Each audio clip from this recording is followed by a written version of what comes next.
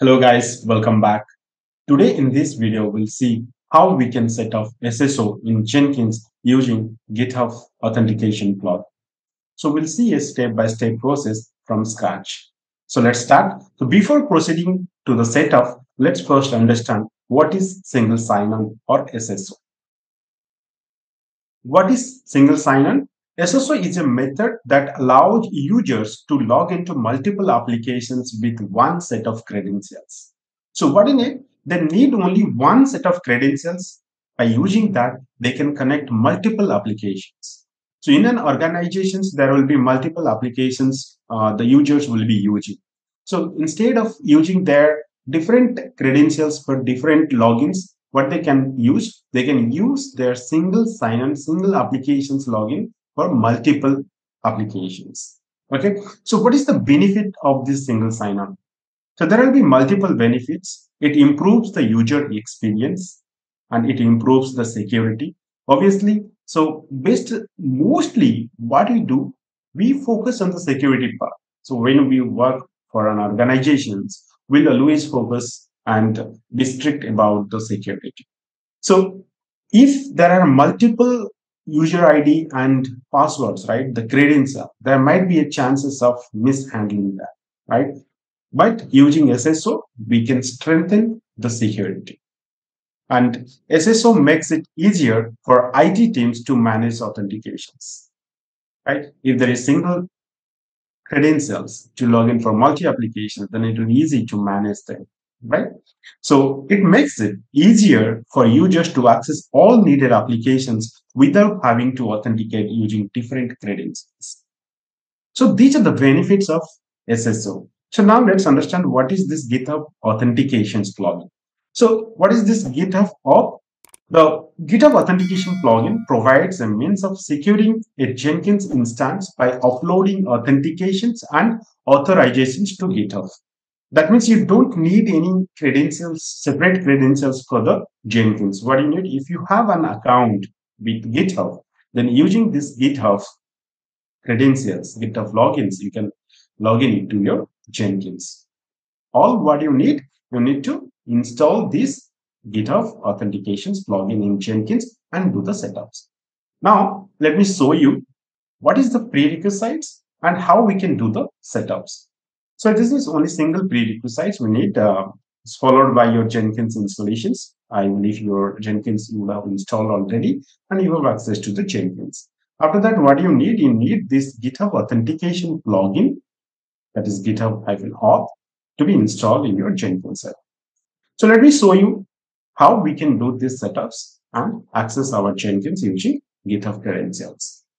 So first, let's understand about this GitHub authentications plugin. So if you just go to plugins.jenkins.io, GitHub-auth, you'll get this GitHub authentications page where it gives the information about this plugin, the latest versions of the plugin, and the setups, how we can do the setups. Everything has given here. I'll show you the step-by-step -step process, how we can do these setups in Jenkins with the required credentials and with the required security in place. Okay. Now, uh, before we move into that, I believe you should have the access to the Jenkins, right? So here I have already connected to my Jenkins server. Okay. So what do you need? Just go to the first login, this one. Go to the manage Jenkins and you know very well how to install the plugins, right? Go to plugins, and here, what we need, we need to search here GitHub authentications.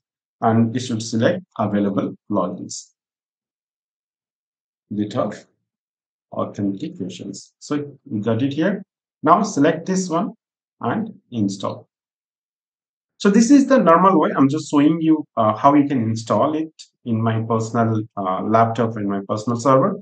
But in your organization, you would have different way of installing the plugins. You can follow that one. I already have uploaded similar kind of video how uh, without um, internet how you can uh, install the plugins, right? that is the offline installations of the plugins. You can follow that video if you're working for an organizations. Okay. So what you can it is success. So what I can do, uh, just little, uh, let me restart the server. So it will take a few seconds to get restarted. Uh, by the time I'm just pausing the video and we'll be back soon.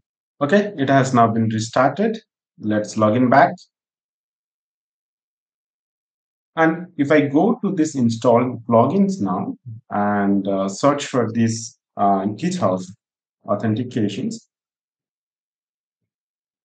see this plugin has been installed now. Now let's go to your manage Jenkins again. Now we have to set up this authentications plugins, right? How we can set up this. Now let's go there, go to security.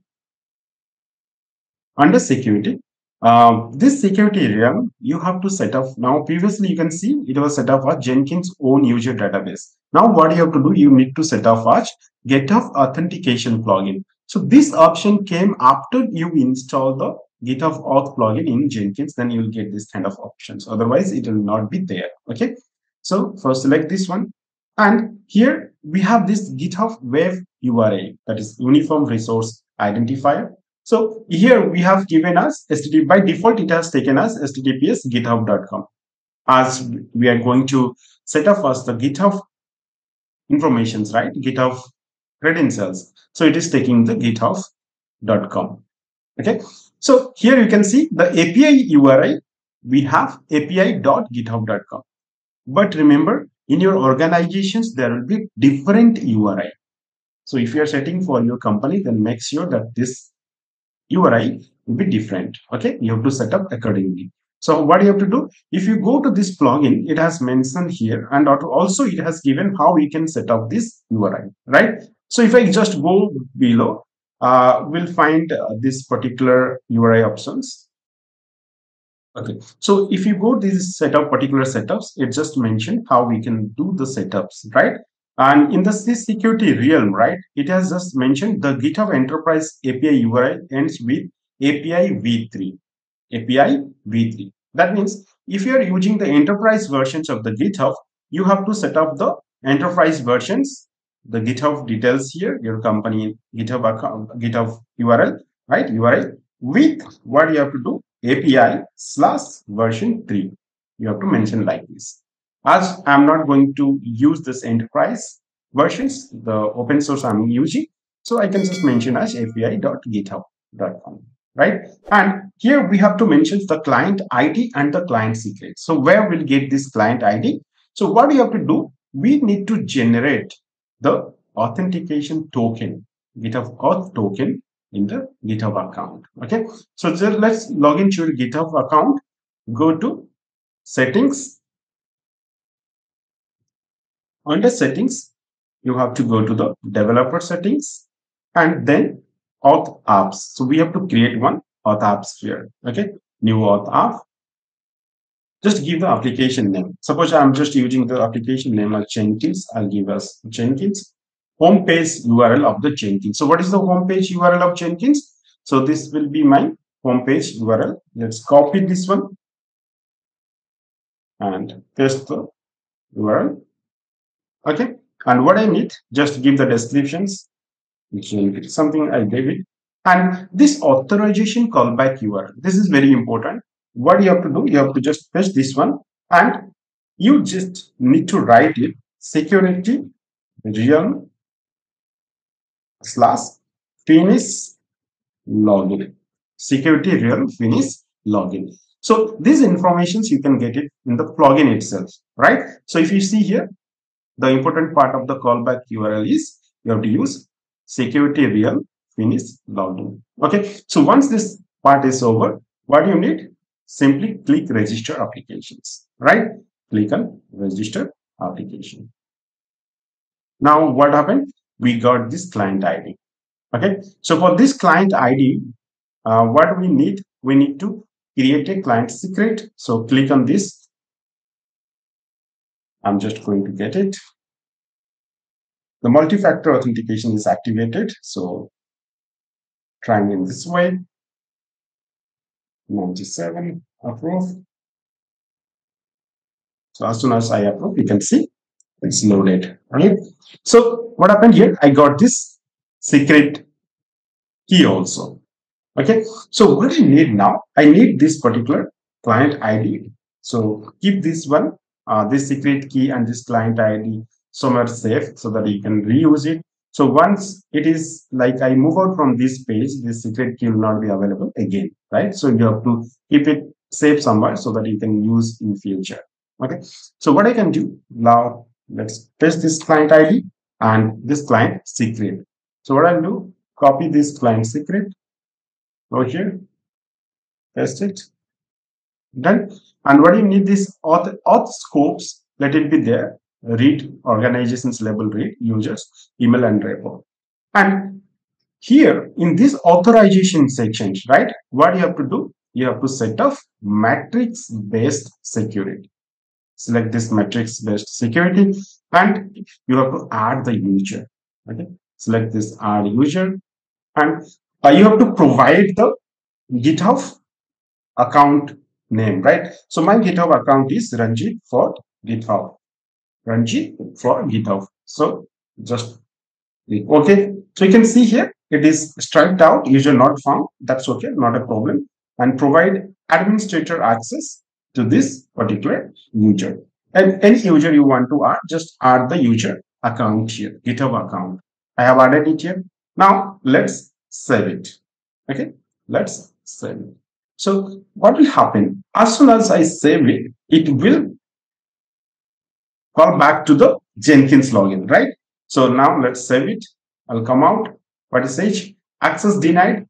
To whom it is access denied? It is access denied for this account right? If I just log out from this account, okay, and log in back, see, it is now asking me to authorize the Jenkins by using this Ranjit for GitHub account. So I have to now use this particular GitHub account to log in. So if I just authorize, now it will redirect me to Jenkins space. See, Perfect. Go to the dashboard and see I have complete access to this Jenkins now.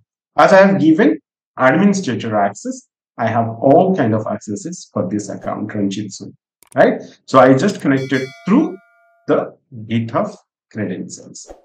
So n number of users in your organizations or in your applications working, you can easily add them. So in your team members, right? You can just give their team members GitHub account, add it, and they can easily get access. So now you learn how we can do the SSO setups in Jenkins using GitHub authentication plug. Uh, I hope you understood uh, completely uh, from the scratch. If you have any doubt or any uh, concerns, please do write me in the comment section below. I'll try to answer your queries. If you have not yet subscribed my channel, just do subscribe now so that you'll get notified when I add more videos on my channel.